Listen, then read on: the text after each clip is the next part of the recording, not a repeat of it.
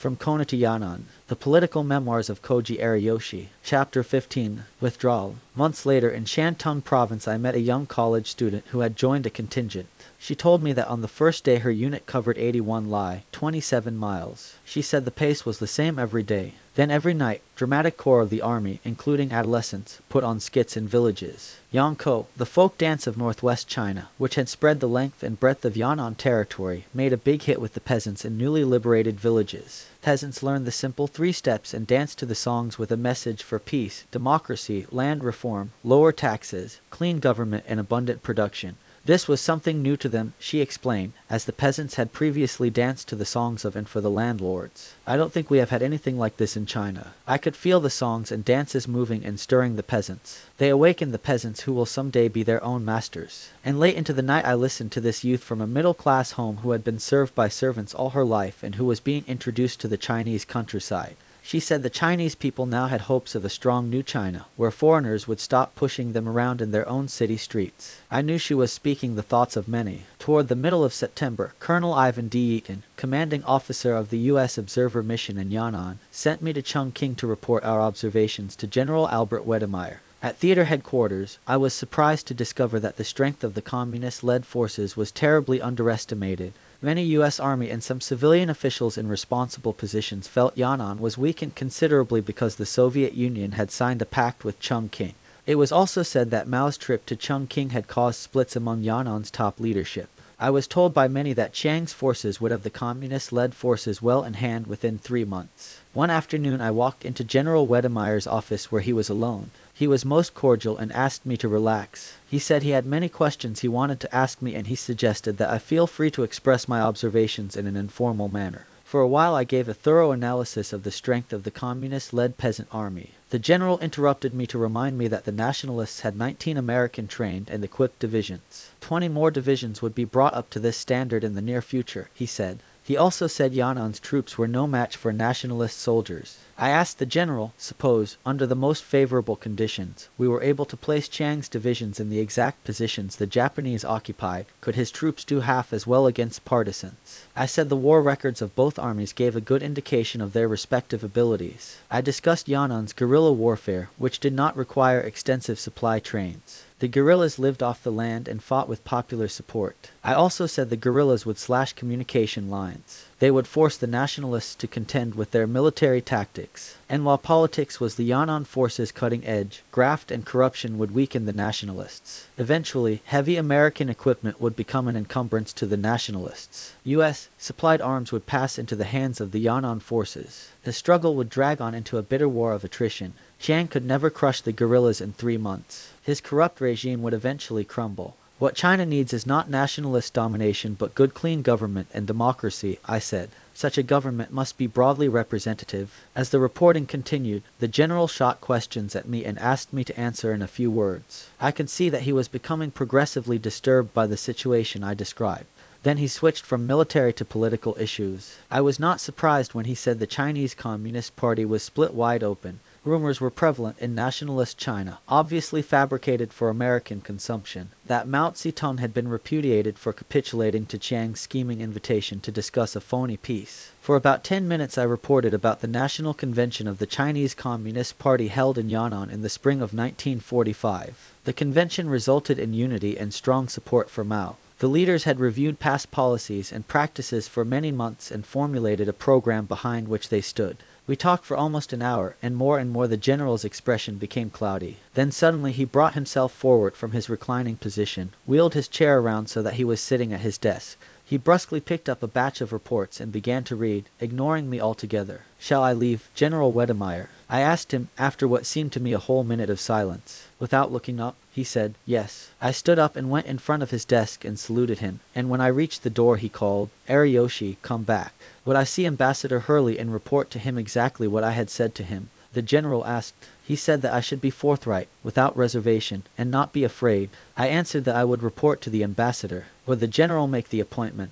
He said he would. When I went to the U.S. Embassy a few days later, I was asked by one of the staff employees to go to the ambassador's bedroom upstairs. The ambassador told me he had been sick. He was freshening up for the day in his knee-length robe and stocking feet. I could not keep from smiling, for he lacked the color and air of dignity he had carried with him when I first saw him in Yan'an. The ambassador had me sit on a chair by his bed. He instructed me to tell him what I had on my mind and walked to his dresser in the far corner of the room and carefully touched up his mustache in front of a mirror. I told him about General Wedemeyer's instructions and proceeded to give my report, the gist of which I felt the general must have conveyed to the ambassador in arranging my appointment.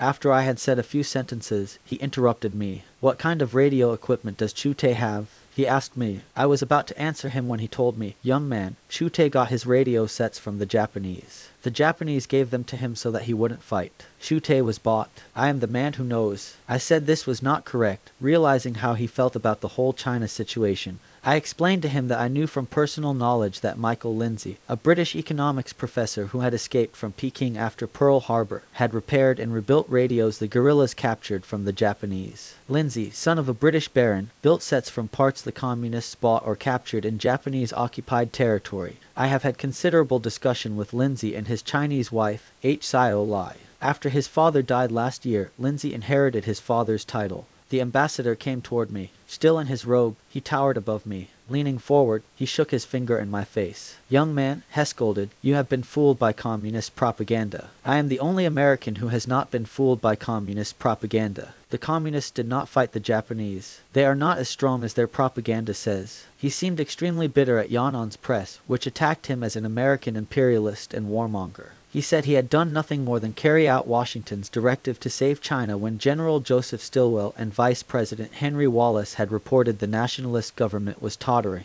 He told me a story to illustrate how closely he followed instructions. In World War I, he said, he was ordered to cross a river in France with his battalion over a bridge. He said he did not ford the river where the enemy had not concentrated its forces, but crossed the river over the bridge in face of heavy enemy fire. He said he would not tolerate sabotage of American policy in China, and emphasized that he had removed Ambassador Gauss, General Stilwell, George Atcheson, and others from the embassy. The ambassador said he had agents in Yan'an who reported to him directly. All private conversations held between Americans and Chinese communists were reported to him by Mao Zedong and Zhou Enlai.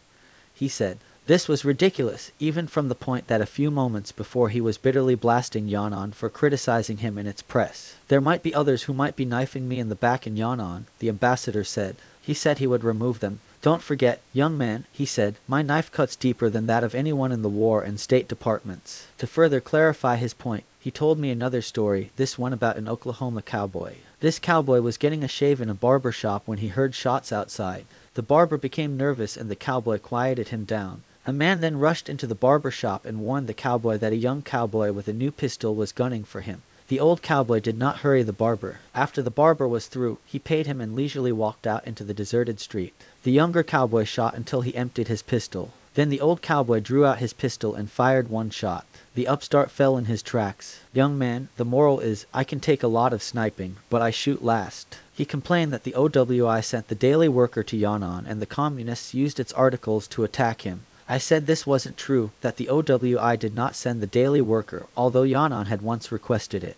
But conservative and liberal publications were sent there, and some clippings from the American press complimented him. I added that Yan'an studied them carefully. All of a sudden, Ambassador Hurley beamed. I had not meant that the communists agreed with the articles which were laudatory of Hurley's work in China, but merely meant that they read them carefully. The ambassador was in good spirits and the interview ended. He had done all the talking.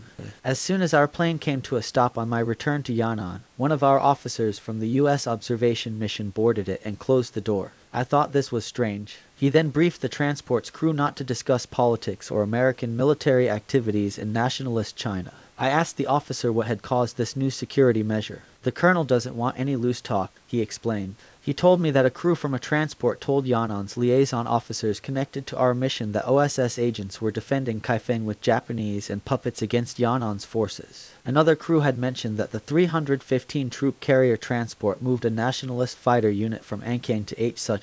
The fighters quickly started strafing Yan'an held territory. When the communists hear stories like these, they surely get burnt up, he said to me. The colonel pondered whether we should take precautions against Chinese demonstrations and possible attack against our mission. We had code machines and documents to protect, he said. The officers who had been in Yan'an for many months did not think that we would be attacked. Yan'an was still cooperating, supplying us with weather reports. Weather in China moves from west to east. Ironically, meteorological reports sent from Yan'an to theater headquarters were being used in transporting Chiang Kai-shek's troops by air. Then early in October we were notified that an American fleet would land at the Yan'an liberated port of Chefoo. The Chinese communists protested strongly through our mission. Theater headquarters notified us that our fleet was making a forced landing, if necessary, on October 10th. The colonel called me to his quarters for discussion. He finally decided to keep our personnel in our compound that day. He ordered me to have all firearms of American personnel locked up. On the morning of the Chefoo landing, about which Yan'an did not know, the border region government invited us to attend a simple ceremony of the double 10th, October 10th, anniversary, to observe the birth of the Chinese Republic under Dr. Sun Yat-sen. We went to the border region headquarters to congratulate Chinese officials, but we did not stay long. We rushed back to our mission and anxiously waited for news from Chefoo. It was a great relief when Vice Admiral Daniel E. Barbey, commander of the 7th Fleet, did not land at Chefoo. He announced from his flagship off the Chefoo harbor that American forces will not land at Chefoo, which is under the control of the Chinese communists. The result of the American landing here will have no other meaning than to help the central government troops to occupy the port. Such a move will become a direct intervention in Chinese internal affairs. The admiral's views clashed with those of General Wedemeyer. He went so far as to advise against transporting Chiang's troops into Manchuria. Shortly after, Wedemeyer and Barbey went to General MacArthur's headquarters in Japan for a powwow. The admiral was relieved of Asiatic duty. I remember picking up a New York Times magazine section at Chabua, India, prior to flying over the hump into China during June 1944. In an April 1942 edition, Madam Chiang Kai-shek had written an article that said, During the past five years there has been no instance of Chinese troops surrendering to the enemy. To the Chinese soldier, resistance to the last cartridge and the last man is no mere pretty figure of speech. When our men go to the battlefield they are prepared to die. Their patriotism is fully shared by their families. The word surrender is not to be found in the present-day Chinese vocabulary. I tucked this paper into my duffel bag and carried the article with me for many months. One day in Chungking, I showed it to a young Chinese intellectual who worked for the OWI. He was surprised that the Americans believed the madam's propaganda utterances. A few days later he came up to me with a bit of information which he thought might interest me. He said that back in 1942, during the same month Madam Chiang's article appeared in the Times, Kuomintang General Sun Liang Hsieh-cheng had surrendered to the Japanese in West Shantung with his 69th Army. The Japanese designated General Sun's unit the Puppet Second Front Army and made him commander. I learned also that from 1941 to the summer of 1944, more than 70 high-ranking Kuomintang generals had gone over to the Japanese with columns, divisions, or brigades. These units were not disorganized by the enemy but renamed and placed on Japan's anti-Yan'an fronts. This fitted Chiang's plans. Chiang was trying to use more and more Japanese in the civil war against Yan'an's forces, and Japanese commanders in one or two places pleaded with the Americans to accept their surrender. American Marines, in this situation, guarded railways with Japanese, puppet, and Kuomintang troops. The Marines griped about this duty they were forced to perform side by side with their recent enemy, still fully armed. They rode coal trains with Chiang's soldiers through Yan'an-held territory. Occasionally villagers on Yan'an's side took pot shots at these trains. On October 30, 1945, General Albert Wedemeyer told the press, U.S. troops will not intervene directly in the Chinese Civil War because traditional U.S. policy holds that other nations will be permitted to choose their own form of government without foreign intervention. This was ridiculous talk, and American correspondents, who were not gagged as much as correspondents are today, made fun of General Wedemeyer. 50,000 U.S. Marines who had been brought to China, reportedly to help disarm the Japanese, were not executing their tasks. General Wedemeyer authorized air strafing of villages which did not heed ceasefire requests to let the trains go through. Against hostile villages he ordered adequate military action. Yan'an blasted him, saying it found the smell of gunpowder very pungent in his words. Then one day a U.S. Marine unit fired about a couple of dozen mortar shells into a village because the people there did not turn over to the Americans the Chinese who had shot at a U.S. guarded coal train. On one of my trips to theater headquarters I mentioned to General Wedemeyer that U.S. soldiers were guarding Chiang's trains passing through hostile territory. The general said that his foremost duty was to protect American soldiers, and he was forced to blow up the village when the villagers did not heed his request. When I mentioned that our troops were being sent into hostile territory, he said that without U.S. assistance, Chiang could not transport necessary coal to the cities. The colonel under whom I served was extremely loyal to the general, and he constantly said that the general was not getting a good press. It was bad enough that Yan'an attacked the general in its news broadcasts. He said, when General Wedemeyer denied that we were intervening, Yan'an asked what would be the general's reaction if Yan'an's troops landed on the west coast and occupied Yosemite Park and other places. So when the colonel sent me to report to the general in November 1945, one mentioned the general's press statements. The general was bitter at some correspondence. He felt he was put in a tough situation. He said the general staff in Washington instructed him to hold press conferences and so he had to meet the press. The newspaper reporters asked him many questions. He said he answered freely, taking the correspondence into his confidence. The next thing he knew he was criticized for his statements, he explained. All these things when added up indicated that the policy of supporting Chiang to crush Yan'an's forces was a flop. I talked to high American officers in headquarters who back in September had believed Chiang would have the Yan'an forces licked within three months. They were now disgusted with Chiang's forces. In this situation, the U.S. held the balance between civil war and peace in China. Continued U.S. military support of Chiang's corrupt regime was no solution to China's problems. This meant civil war when China needed democracy and a firm economic foundation.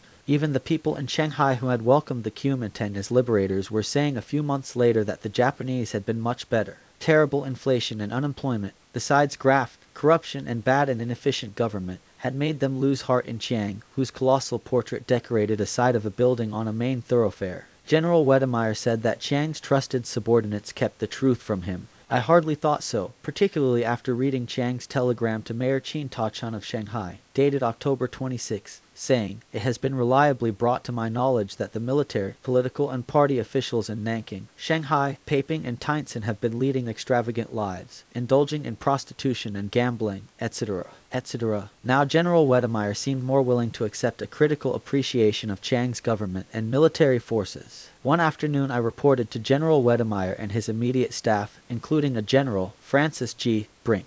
General Brink, I believe, is same person who recently, 1952, committed suicide in the Pentagon building. He was in charge of the warfare in Vietnam on the American side, and it was reported that he had appeared dejected. In this session there was no more talk about the big split in Yan'an's leadership or of 39 U.S. trained divisions under Chiang who would crush the Yan'an forces in three months. In September, when I had reported to General Wedemeyer, what I said was not the kind of information and analysis that he wanted to hear. I gave nearly the same report and he and his staff officers asked numerous questions, as though going over me with a fine-toothed comb. Finally, one of them asked, what if the U.S. threw her full force unconditionally on Chiang's side? I discussed the growing chorus of protests in the U.S. against intervention. Would the people oppose, remain silent, or support such a military adventure, which would involve our country in years of warfare? The Japanese troops bogged down in China. They lived off the land. How much better could white soldiers in blockhouses in the Chinese countryside do? And exposed to constant guerrilla action for months and months. At this session I recall we disagreed on this point.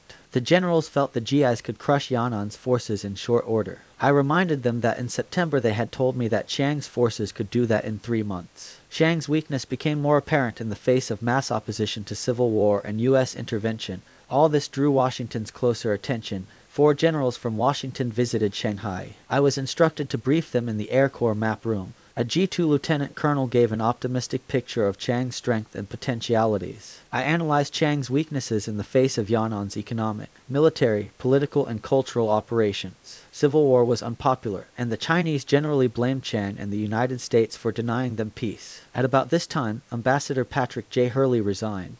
This came one day, November 26th, after six congressmen introduced resolutions calling for the withdrawal of U.S. troops, transports, and supplies. They urged that the U.S. use her efforts to bring about a coalition government based on popular land, tax, and government reforms. Mounting anti-Civil War protests in China and the U.S. gave Hurley no other choice. General George C. Marshall succeeded Hurley. On December 15, 1945, President Truman made a policy statement that said, The United States is cognizant that the present nationalist government of China is a one party government and believes that peace, unity, and democratic reform in China will be furthered if the basis of the government is broadened to include other political elements in the country.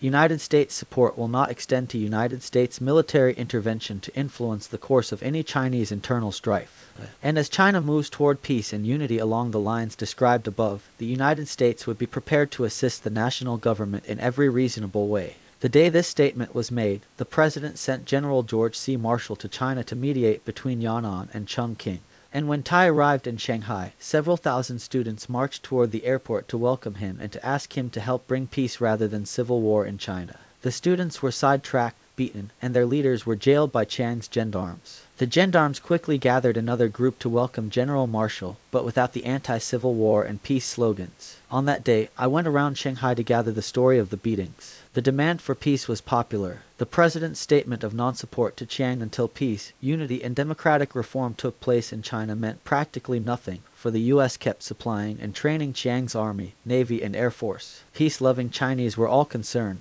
The Marshall mission was bound to fail. Just before I was separated from the army in China, I made a trip to Chungking to report my observations to General Marshall. He was not a Hurley, bombastic, and egotistical, but quiet, always formulating his short, precise questions with care. He drew you out and listened. Once, as a Chinese waiter came to the table, the general motioned to me with his hand to stop talking. As the waiter walked away, he motioned for me to continue. One of the waiters there was the chief waiter at the U.S. enlisted men's mess hall during the war, and I had always suspected him as a Tai Li agent.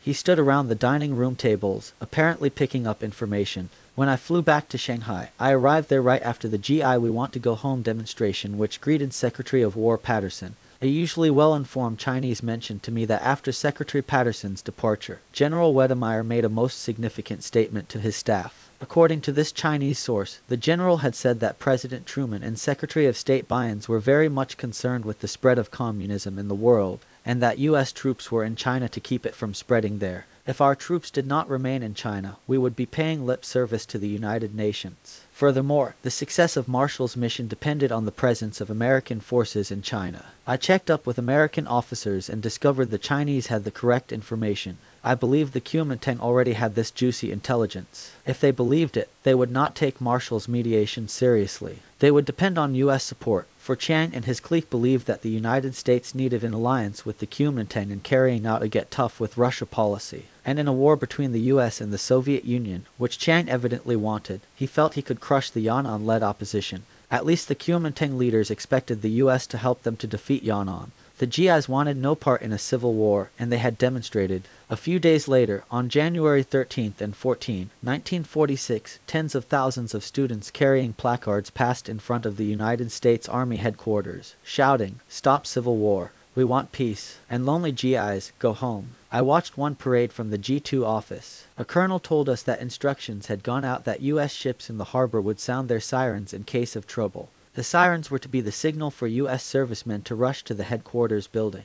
On January 15th, another 100,000, this time workers, marched the same route, shouting the same slogans. This demonstration made the U.S. military brass hats gnash their teeth in helplessness and seething anger. Toward the end of March 1946, we prepared to close our United States Army Observer Section in Yan'an. Colonel Ivan D. Yeaton, the commanding officer, was holding his last inspection. I had already been separated from the army and was a cultural and information officer of the State Department.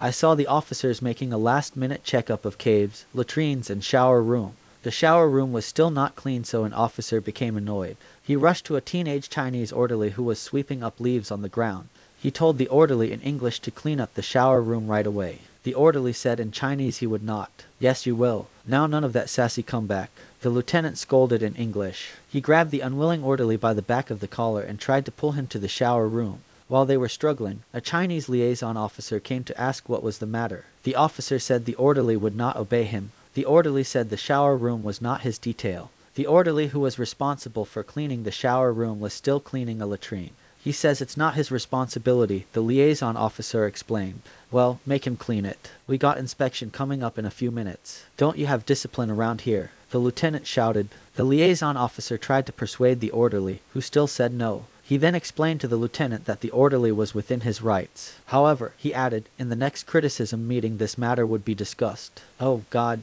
the lieutenant said, and rushed to clean the shower room himself. The orderlies were called Chio Tai Yun or man who looked after guests. We had never been permitted to call them boy, as orderlies were called in nationalist China. These orderlies were sons of poor peasants and many were orphans who had attached themselves to the army in their early teens. Each one of them proudly carried a pencil and a notebook in his pocket. They had study hours, which included current events discussions. They had meetings frequently and I used to see youngsters chairing their evening sessions in orderly manner in their courtyard.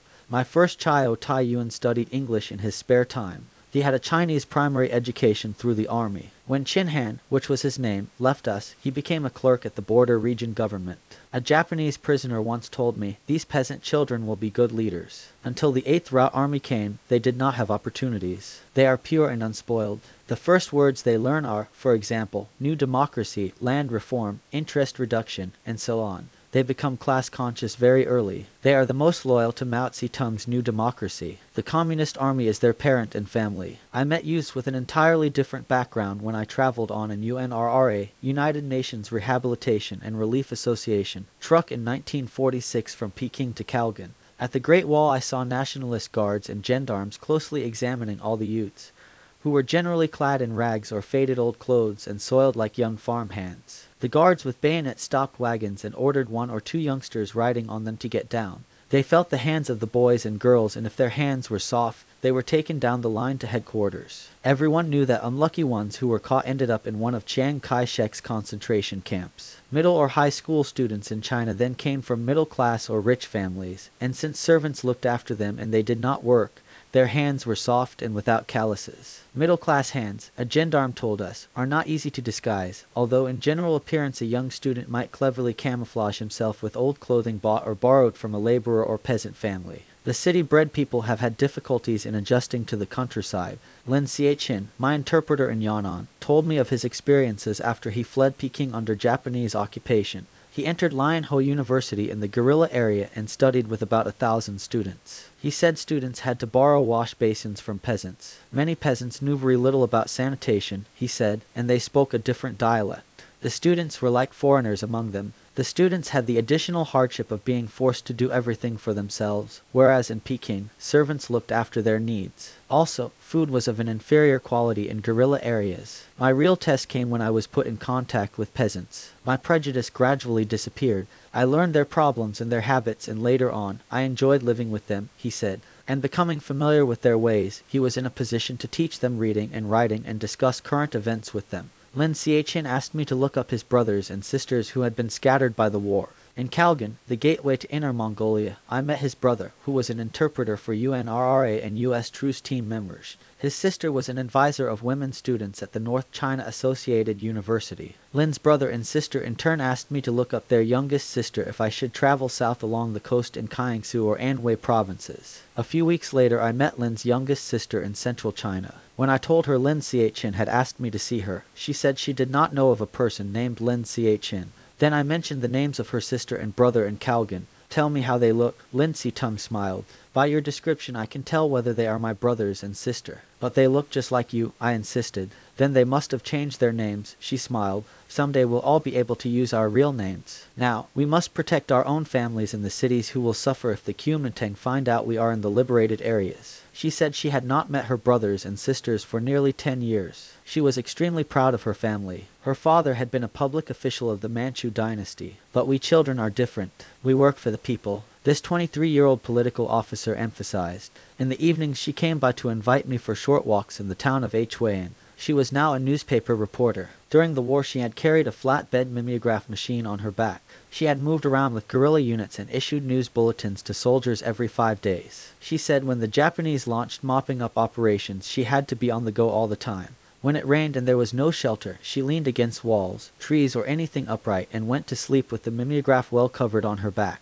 If she found rocks, she piled them and stood on them to keep her feet out of the puddles. She told me of how she had gone into Japanese occupied villages to organize resistance forces by conducting winter schools or night schools. The peasants helped me to escape many times, she said. I am short, so even if the puppets fired at me, I offered a small target. And she laughed. In the next minute, she was telling me of her ambition of wanting to continue her studies so that she could help her people. Personal advancement seemed a consideration she had dropped by the wayside long ago. Peace, she said, is what the Chinese people yearn for. In a way she reminded me of Chuye, whom I met in Gaochuang, a village outside Linai, Shantung province. She had a sweet, childish face and wore black cotton slacks and blouse. All she had in her small, one-room mud hut with a dirt floor was a stool, a makeshift table, and a plank board bed laid over with a thin cotton mattress. She too was from the city, from a middle-class home. She was working with the peasants in the field, effectively helping them organize for greater production and teaching them in spare time to read and write and keep accounts. She too talked of the people and spoke of the future with confidence, of a China prosperous and independent. In 1946 I made one last trip to Kalgan and Hsuanhua, medium-sized cities which the Japanese had industrialized on the border of Inner Mongolia. Americans in Peking and Shanghai had asked me after I had made my first trip there whether the communist-led governments which had operated for years in the countryside could run modern industrial cities. The coal mines were working at greater efficiency than when I had visited them a month before. An iron foundry with four blast furnaces in Hsuan HWA was under repair. Factories producing matches, tobacco, rubber, vegetable oil, and other products were going almost at full capacity. On my first trip to Kalgan I saw a paper factory which was under construction. When I visited Kalgan a month later, this factory was producing newsprint. On my first trip to Kalgan I was awakened every morning by loud drum beats and clashing of cymbals. This was election campaign week, during which time education and dramatic groups from schools and every mass organization went out on the streets to interest the populace in the election. Teenagers with makeup on and in costumes danced the popular Yangko, a folk dance. As dancers went up and down streets, the people gathered. Then someone with a pail of water sprinkled the ground to keep the dust down. The dramatic groups formed a circle right there in the street and put on short skits. Songs emphasized election of good, responsible people. When a large gathering filled the street, the youngsters stopped dancing. They faced the crowd from inside the circle and gave short talks on the responsibility of each citizen to exercise his franchise. They urged everyone on that street to study the candidates whose names were posted on a blackboard at the street entrance. On a back street we heard Ho Ta Ma, who was more popularly known as the mother of the 8th Route Army. Her speeches were short. She spoke about ten sentences and ended with, I have the interest of the people at heart. She received the best response from her people. A liaison officer who was standing by me said she would get elected to the city council because she had helped wounded and sick soldiers during the anti-Japanese militarist resistance as though they were her sons. I asked him if Ho Ta Ma could read and write. The officer looked at me as though I had asked a stupid question. We believe in democracy. Our government is not a monopoly of the landlords and the merchants, he said. We have them, too, but we also have people like Mother Ho to represent the common people and he added that Mother Ho had been deprived of opportunities to acquire a formal education. Later on that day, Liu Tsn Kai, chief of the OWI Chinese division in Shanghai, who accompanied me on this trip to Kalgan, started a conversation with a merchant who was listening to a campaign speech. Liu asked the merchant about the election. Wasn't this something new in China? Was it fairly done? Without turning to look at Liu, the merchant said casually as he puffed on his long pipe, It seems now the toilers have their chance. Up to now, they had nothing to do with government. One month later the election was in full swing. Schools were closed and students were canvassing and participating in elections, as were workers during their noon break and after working hours. The students told me that this was the practical side of their education. Kalgan was really in a carnival spirit. I had never seen an election popularized for the people to this extent. Illiteracy, prevalent among the majority of peasants, was no bar to voting. At one booth I saw a voter dropping beans in jars placed behind candidates who faced the wall in a curtained-off area. I still remember the words of Dr. Sidney Y, which I wrote down carefully in the early summer of 1946 when I was traveling in the Kiangsu-Anhui border region. We conversed in English. Dr. Y is a graduate of Oberlin College and took his doctorate in political science and education at the University of Chicago. He had once been a secretary to Dr. Sun Yat-sen, and like many followers of the great leader he was opposed to the Chiang regime. He was vice chairman of the Kiangsu-Anhui border region government. Dr. Y said to me, the Chinese people are very sensitive to foreign intervention. from students to illiterate peasants, by everyone in China, intervention will be understood, no matter under what guise it comes. On this score, the illiterate Chinese understand better than well-educated Americans. Imperialists and their Chinese running dogs have plagued China too long. Dr. Y was one of the last persons I spoke to in the liberated areas under the Yan'an administration before I left China in July 1946. Speaker T'ien Feng of the People's Political Council of the same border region was another. The spirit of Dr. Sun Yat-sen lives with people like us, Speaker T'ien Feng told me. The 72-year-old official had been a colleague of Dr. Sun. He said people like him and Madam Sun Yat-sen belonged to the old and genuine Kuomintang. The Kuomintang of Chiang Kai-shek had perverted Dr. Sun's three people's principles and his three great policies. The former he described as democracy, national independence, and improvement of people's livelihood.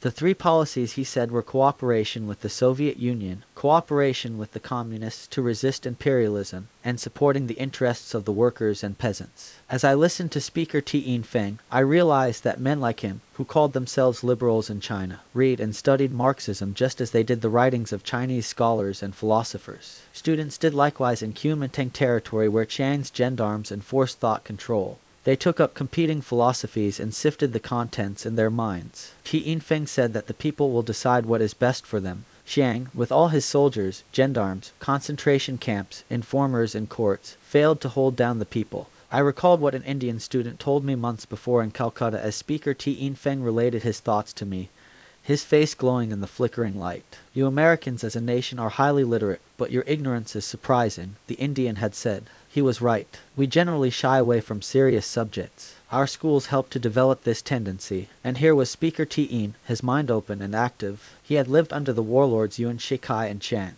They certainly had given him no liberal influence. My tour of China was about over. The morning after my talk with Speaker T'ien I flew out of the liberated area for the last time. I looked down on the panorama which is the land of China's peasantry. Down there on both sides of the truce lines, peasants in uniform faced each other, with captured Japanese and American military equipment in their hands. On one side stood Yan'an's troops with popular support. On the other side, the Kuomintang troops sat out the truce with American support.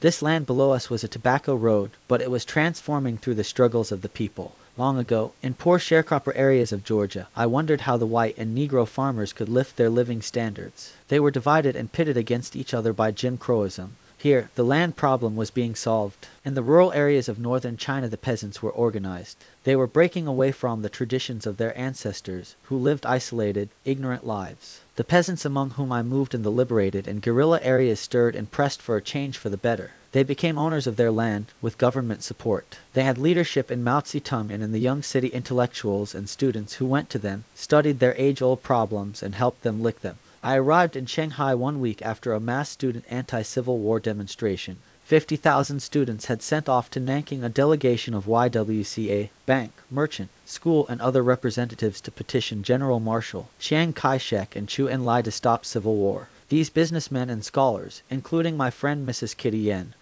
who represented the YWCA, were beaten up by Kuomintang's secret police and ruffians at Nanking. These delegates were not communists but liberals and conservatives. The assault against communists had, like in Germany and Japan, turned into attacks against all opposition. When Sunday arrived there was talk of another demonstration. Since these demonstrations took on an anti-American slant, GIs were instructed not to go out on the streets. In their barracks and hotel rooms, the Americans waited all day for it to take place. There was no parade. I spent part of the day with my superior and discussed with him the Yang Kao case. Yang Kao, a Chinese liberal, had been an employee of the OWI office in Fukien. While carrying out his duties as news and information worker for the U.S. government, he became a suspect of the gendarmerie of a reactionary regional commander of Chiang Kai-shek. The gendarmes demanded that the Americans turn him over to them. Yang pleaded with his OWI superiors to give him protection, for he knew he would be killed by Chiang's police. The American in charge of the Fukien OWI office finally gave Yang to the secret police. But not all Americans crawled before the Kuomintang Gestapo. Edward Rohrbaugh, OWI news editor at Fukien and now of the Honolulu record staff, protested this arrest. When Yang was taken away, he headed for the Kuomintang prison to demand Yang's release. He was refused. For one week he carried out a sit-down strike in the prison compound.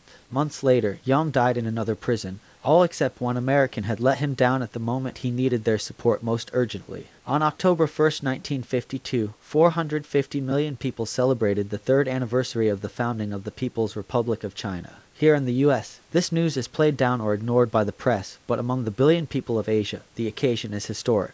They rejoiced when New China lifted the rusted anchor of Western imperialism and threw it on board the exploiter's ship in sending her away. New China demanded equality. In an area where the white man's imperialism is most unpopular, New China's conduct evoked sympathy and support. China is showing other Asians how they, too, can develop their own countries as sovereign states. China has set an example in agrarian Asia of turning land over to the tillers. More than 300 million people have benefited from this agrarian reform policy in New China. They now produce more through cooperative efforts and by utilizing new techniques taught them by agricultural specialists. And China, which was known for frequent famines, had enough grain last year to ship several hundred thousand tons to famine-stricken India. Last week I read in a local newspaper that Chiang Kai-shek on Taiwan had alerted his guerrillas in China for an attack against the People's Republic.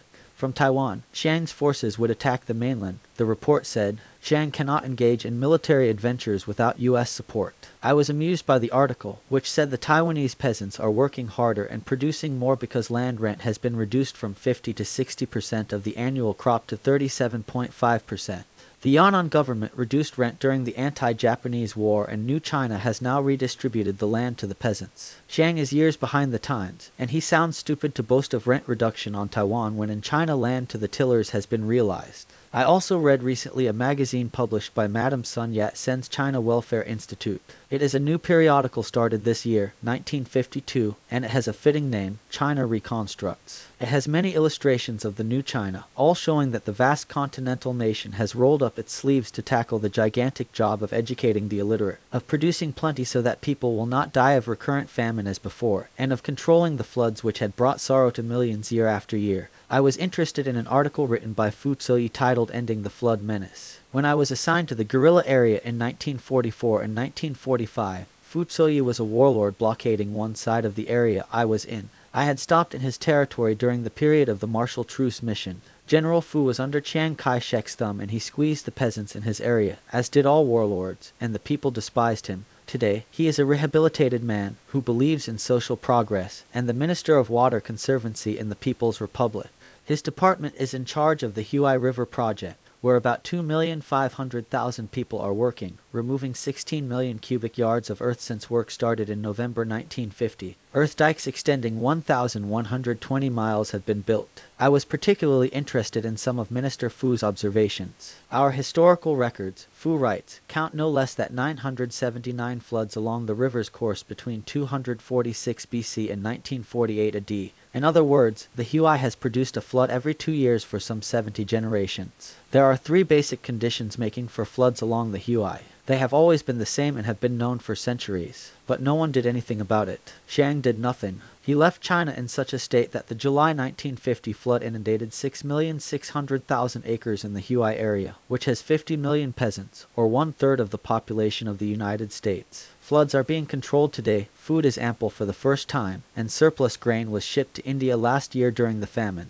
Today, Admiral Arthur W. Radford is plugging to rehabilitate Chiang by giving him more arms. The U.S. has spent more than $5 billion in military supplies on Chiang since VJ Day, and most of the help was given when he ruled a large part of China. Chiang was repudiated by the Chinese people and only US dollars and assistance have kept him in the global political picture. With Chiang to Formosa went the leeches and warlords, where they are living out of US taxpayers' pockets. The true patriots of China remain, and they are reconstructing the great nation.